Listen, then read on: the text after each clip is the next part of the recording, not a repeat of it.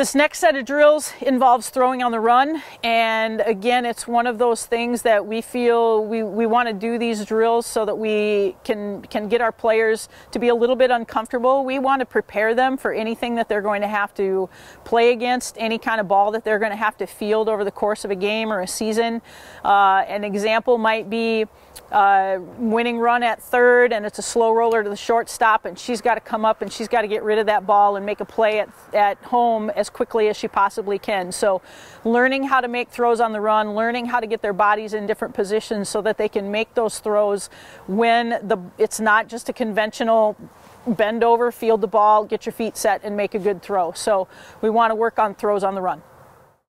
Okay, so the, the first thing we got to do is that you each need a ball and you're going to work on just walking walking into it so it's thinking about the, the the footwork that goes with it.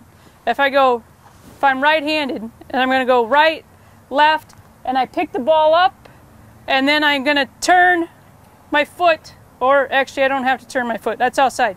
So i'm going to take one more step as the ball's coming up and then i'm throwing off the opposite foot. That's the idea of being able to throw on a run okay, is that we're throwing off the opposite foot if at all possible.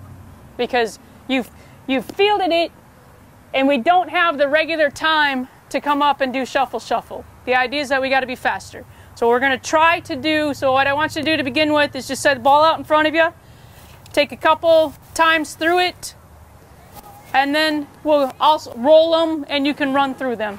So think about situationally when we might use this. Okay? Uh, think about third base, shortstop, slow roller with the game winning run on third. And we have to throw her out at the plate because the score is tied bottom of the seventh. We have to throw her out and it's a slow roller. We have no choice but to come up, field, and throw on the run because we don't have time to get our feet set. All right? We got speed at third.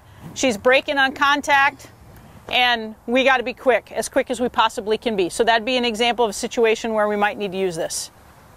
Another example is a slapper, right? You got somebody who just tried to hit five, six hole on you. She squibbed it here. We're coming across. We got to be fast because she's fast. So there's a ball for each of you. Go ahead and just work on it. Just a couple of times as far as working on your footwork, getting that glove, getting the ball in the glove, picked up quickly, whether it's whether it's your glove foot or your throwing foot that picks it up. It's going to either be one step or it's going to be two steps.